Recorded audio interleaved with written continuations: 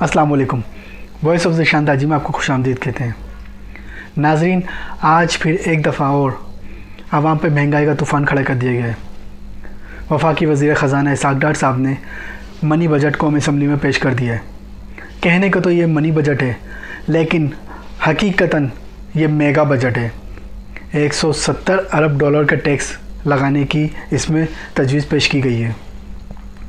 शरह सूद को 17 से 18 फ़ीसद कर दिया गया है। लग्जरी आइटम्स पर टैक्स लगाया गया है। शादी हॉल्स का रेस्टोरेंट्स वगैरह पर भी टैक्स लगाया गया है। कहने को तो तमाम हुकूमतें ये कहती हैं कि टैक्स का असर आम आवाम पे नहीं पड़ेगा। लेकिन हकीकत ये है कि हमेशा टैक्स का असर डायरेक्ट या इनडायरेक्ट आम आवाम पे लाजमी पड़ता है। हुकूमत कुछ भी कहती रहे कि हम आवाम के ना खैर ख्वाह लेकिन इसमें कोई सदाकत नहीं है। पेट्रोल की कीमत में बीस रुपये बाईस पैसे का इजाफा कर दिया गया है। बत्तीस रुपये की समरी भेजी गई थी। ये वही मिसाल कर दी है जो आ, हम आ, हमारी गली मोहल्लों में जो पठान आते हैं चीज़ें बेचने के लिए पाँच हज़ार रुपये की चीज़ बोलते हैं और पाँच सौ रुपये में दे के चले जाते हैं। इसी तरह ये लोग तीस रुपये चालीस रुपये की समरी भेजते हैं और दस रुपये कम कर देते हैं। और कहते हैं कि हमारे आवाम की फलाह बहबूद के लिए आवाम के दुख दर्द को मद्देनज़र रखते हुए कम पैसे बढ़ाए हैं। आवाम को सिर्फ़ और सिर्फ़ बेवकूफ़ बनाने की कोशिश की जा रही है, चाहे पिछली हुकूमत हो या ये हुकूमत हो। इस वक्त पेट्रोल की कीमत दो सौ बहत्तर रुपये हो गई है। अब एक गरीब आदमी, मज़दूर आदमी, इतना ज़्यादा पेट्रोल के पैसे कैसे अफोर्ड कर सकता है? गैस और बिजली के वैसे ही रेट बढ़ा दिए गए हैं। गैस वैसे ही नहीं आ रही है और एलपीजी के भी रेट बढ़े हुए हैं। एक गरीब आदमी, एक मजदूर आदमी के लिए सर्वाइव करना बहुत मुश्किल हो रहा है। ये पूरा एक साल होने वाला है इस ग्यारह जमातों के इतिहाद की हुकूमत को। लेकिन कोई भी, किसी भी तरीके से पाकिस्तान के हालात बिल्कुल सुधरने के नाम नहीं ले रहे। सुधरना तो बहुत दूर की बात है। मज़ीद अब तरीका शिकार होते जा रहे हैं। पाकिस्तान बैंक होता जा रहा है। अगर आईएमएफ कर्ज़ा दे भी दे, एक बार मिसाल है तो कितने दिन तक? दो महीने, तीन महीने? पहले भी कर्ज़ा देते रहे। आईएमएफ से कभी भी कोई भी मुल्क तरक्की नहीं कर सका है। क्योंकि आपकी जो बचत होती है, जो आपकी इन्वेस्टमेंट होती है, आपकी जो सेविंग होती है, वो आईएमएफ अपनी किस्तों पे सूद की मद में ले जाता है। आपके पास बचता क्या है? कुछ भी नहीं। कोई भी मुल्क आईएमएफ की वजह से तरक्की नहीं कर सका। तरक्की सिर्फ़ और सिर्फ़ आपकी मीशत को, आपकी एक्सपोर्ट को तरक्की देने से होती है।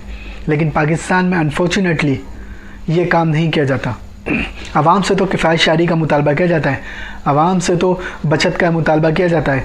लेकिन हुकूमत, ये मौजूदा हुकूमत, जो अपनी काबीना की जफ़र मौज लेके घूम रही है, उस पर क्या ख़र्चा नहीं आता? एक एक वज़ीर पे करोड़ों रुपए खर्च होते हैं। और उन्होंने तकरीबन तमाम ही जो इतिहादी अरकान हैं, उन सबको तो वजारतें दे दी हैं कुछ को मुशीर बना दिया, कुछ को एडवाइज़र बना दिया, कुछ को मामन खसूस बना दिया, और किसी को वज़ीर और किसी को वज़ी ममलिकत। हमारे पाकिस्तान में एक अजीब रोल है कि एक ही वजारत के दो दो वज़ीर होते हैं। एक वज़ीर होता है और एक वज़ी ममलिकत होता है।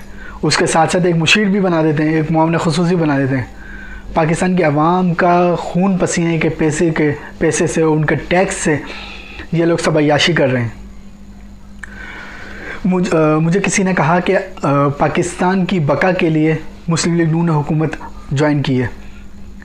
मुस्लिम लीग नून ने इतना बड़ा डेंट मारा अपनी सियासत पर इस हुकूमत को लेकर कि उसका खमियाजा इनको भुगतना पड़ेगा।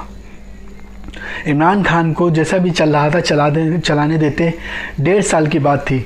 उन्होंने ज़बरदस्ती उसको घर भेजा और उसके तमाम जो भी मसले मसाइल थे जो उसको हैंडल करने थे, इन्होंने अपने गले में ले लिए। और गले में लिए लिए, और आवाम के गले में भी तोक बना दिया इन्होंने।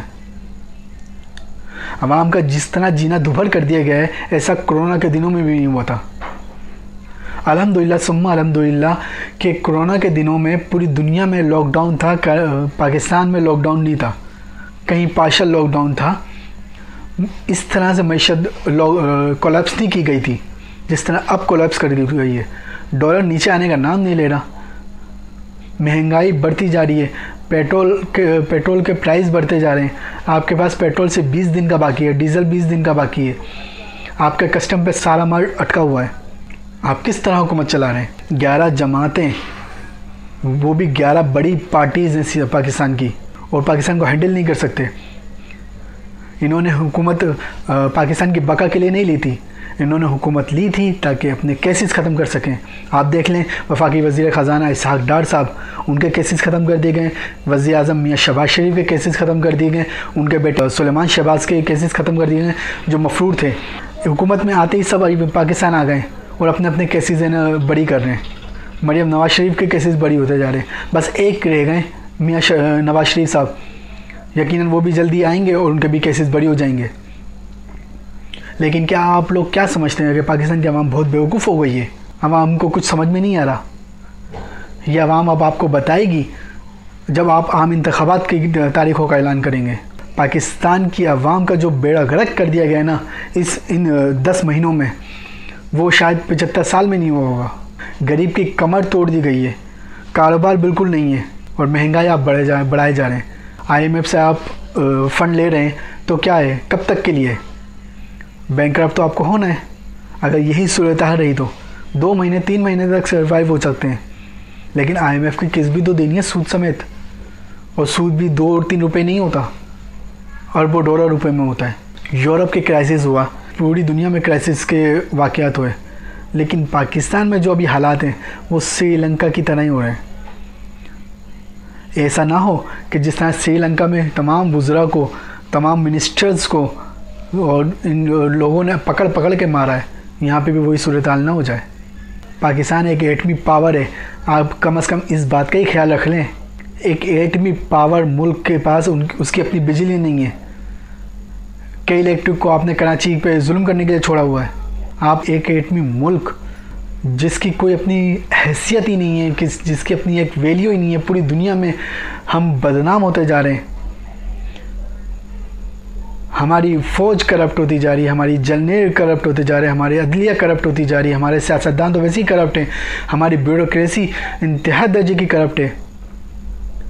एक सत्रह ग्रेड के अफसर को भी चालीस चालीस लाख रुपए की गाड़ी दी जा रही है और उसके घर से अरबों रुपए मिलते हैं।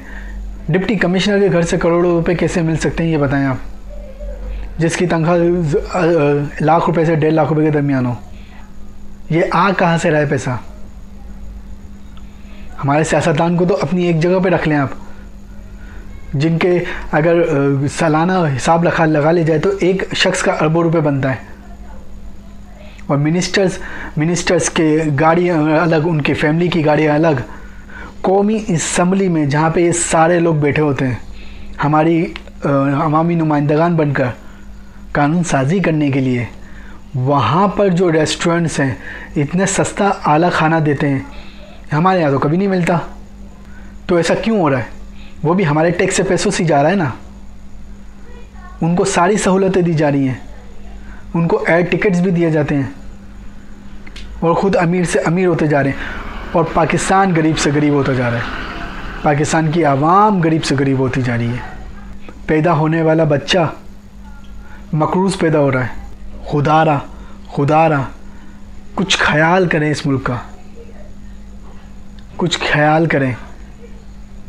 आवाम इतनी बेवकूफ़ नहीं है कि अब वो ये ना समझ सके कि ना कौन करप्ट है, कौन करप्ट नहीं है।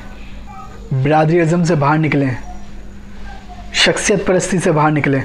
पाकिस्तान के लिए कुछ सोचें। अपनी आने वाली नस्लों के लिए कुछ सोचें। हमारी सहाफ़ी बिरादरी एक प्रो गवर्नमेंट हो गई और एक एंटी गवर्नमेंट हो गई है। ये कतई नहीं होना चाहिए। सहाफ़ी का काम सिर्फ़ और सिर्फ़ सच बयान करना है। सच बयान करें, किसी के आलाकार न बने। पाकिस्तान की आवाम ने हमें इज़्ज़त दी है। हमें उस इज़्ज़त का पास रखना है। चाहे कोई हमें अरशद शरीफ शहीद की तरह शहीद कर दे, लेकिन हमारा अमल है जो हमारे मुख पेशा है, हमें उस पर पूरा उतरना है। अदलिया को इंतहाई अहम मोड़ है कि उसको अहम फ़ैसले करने पाकिस्तान के हक़ के लिए, पाकिस्तान की बका सलामती के लिए। हमारे इस्टेब्लिशमेंट को बहुत अहम फैसले करने अब, और अब कोई हल नहीं है। आम इंतबात की तरफ़ जाया जाए, नई हुकूमत आई जाए, चाहे वो कोई भी हो। ताकि वो पूरी तरीके से इस नाम जो बैंक होने की सूरत हाल है, मीशत की कोलैप्स है, इनको वापस उरूज पे ले जाया जा सके। अगर हमने अभी भी सुस्ती और काहली का मुजाहरा किया तो खुदा न खास्ता हालात ख़राब होंगे और पाकिस्तान तो वैसे ही दिवालिया होने के करीब ही है। क्योंकि हमारे पास तो कुछ पैसा ही नहीं है। कस्टम पे हमारा सारा माल रुका हुआ है। कारोबार बिल्कुल बंद हो चुके हैं। और इन सियासतदानों का क्या होगा? वो अभी आज वज़ी अजम हैं वज़ी अजम की सीट से उतरेंगे, लंदन चले जाएँगे। इसाक डार साहब वज़ी ख़जाना से पहले लंदन में थे वज़ी ख़जाना के बाद लंदन में होंगे। रहेगी पाकिस्तान की आवाम। हमारे जजेस हमारे जलनीर, हमारे ब्यूरोक्रेट्स, हमारे सियासतदान, सब के सब बाहरी होते हैं। रिटायर्ड होंगे अपनी कुर्सी छोड़ेंगे और बाहर चले जाएँगे। सिर्फ़ आवाम को यहाँ रहना है, जिनका जीना, मरना सब यहीं है। उनकी कब्रें भी यहीं होंगी। अपनी और अपनी आने वाली नस्लों के लिए हमें बहुत कुछ करना है। कहने को तो बहुत कुछ है, लेकिन कुछ चीज़ें हमें इखलाक के दायरे में और कानून के दायरे में रहते हुए भी करनी पड़ती हैं। लेकिन हमारी आवाम पाकिस्तान की आवाम बहुत बाशूर हो गई है। बहुत चीज़ें समझने लग गई है। मैं किसी की फेवर में बात नहीं कर रहा हूँ। मैं पाकिस्तान की फेवर में बात कर रहा हूँ। पाकिस्तान के अवाम की फेवर में बात कर रहा हूँ। क्योंकि मैं पाकिस्तानी हूँ। क्योंकि मुझे यहाँ रहना है। मैं यहाँ पैदा हुआ, यहीं मरूँगा। ये हमारे आबा अजदाद ने बनाया था ये मुल्क। किसी को प्लेट में रख के नहीं मिला। कुर्बानियाँ दी हैं हमने, और हम कुर्बानी देते रहेंगे इस पाकिस्तान की बका के लिए, पाकिस्तान की सलामती के लिए। कोई बात बुरी लगी हो तो उसके लिए माजरत। लेकिन लेकिन प्लीज़ अपने लिए और अपनी आने वाली नस्ल के लिए ज़रूर सोचें अब वरना आपकी नस्ल जो है आने वाली, वो आपको कोसेगी बुरा भला ही कहेगी, अच्छे लफ्ज़ों में याद नहीं करेगी। इसके साथ ही अपने मेज़बान ज़िशान यासिन ताजी को इजाज़त दीजिए। इस अपनेपन के साथ कि अपना और अपने घर वालों का बहुत ख्याल रखेंगे। अस्सलाम वालेकुम वबरकू